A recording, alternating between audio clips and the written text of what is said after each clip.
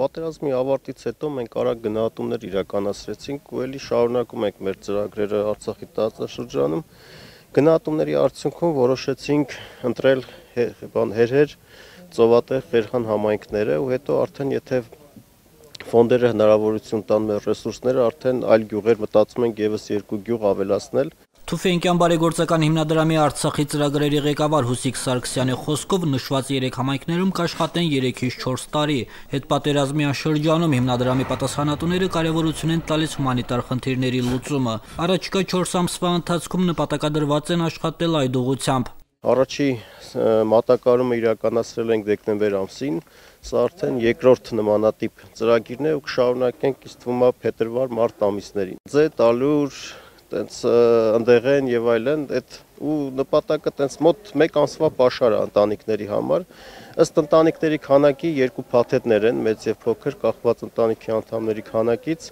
մինչև 3 անդամ ունեցող ու 4 եւ ավել։ Զինադատարից հետո գյուղ են վերադարձել գրեթե բոլոր ընտանիքները։ Այսօրվա դրությամբ հերհերում 120 ծուխ կա։ Համայնքի ղեկավարի հավաստմամբ նման ձևաչափով օգնության կարիք բնակավայրում շատերն ունեն բնակչության ճնշող մեծամասնությունը չեն կարողացել իրենց աշխատանքներն այնպես կազմակերպեն, որպեսզի կարողանան այս ձմեռացման, այս պատրաստական աշխատանքները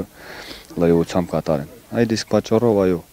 մեծ օգնություն է եւ դրամական ահագին տեսում է։ Այսօր ուշադրության կենտրոնում էին Ծովատեղի եւ Խերխանի բնակիչները եւս Թուֆենկյան բարեգործական հիմնադրամը բացի հումանիտար աջակցությունից նպատակադրված է հարևանությամբ գտնվող 3 համայնքներում կյանքի կոչել նաեւ զարգացման ծրագրեր, իսկ մինչ այդ հիմնադրամի ֆինանսավորմամբ նորոգվում են պատերազմի ընթացքում վնասված տներն ու շենքշինությունները։ Մենք արդեն գնահատել ենք հիմնականում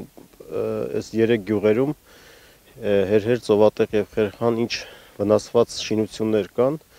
նաև դպրոցներ եւ այլն ու հնարավորություն ստացվեց այս ընթացքում երկու տան համար արդեն ունենալ ռեսուրսներ ու սկսել ենք ինչպես տեսնում եք մեկը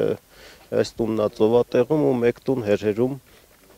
առաջիկայում կսկսեն։ Վնասված տների բարեկարգման աշխատանքներն արդեն մեկնարկել են։ Ծովատեղում գտնվող բազմազավակ ընտանիքի այս առանձնատունը հրթիռակոծվել է պատերազմի օրերին։ Մտանք տեսանք այն կողմը լրիվ փուլ եկած է, խփելասնայադը, տան մեջ հոգշի վառվել է։ Սա պատո դռները, պատոհանները, սա վառված է եղել հատակնդես 2-3 սենյակի հատակը վառված է եղել։ Դռներն օքշի փոխել ենք, ոչ մեկը պիտանի չէր։ Սա նորմալ գործ ենք անում, մի 15 օր կանենք ու կպրսնենք։ Հերհեր ծովատեղ ու Խերխան գյուղերում ներկայումս շուրջ 30 տուն կա վնասված, որտեղ ապրելը դեռ անհնար է։ Գենադի Երեմյան, Տիգրան Սարգսյան, օր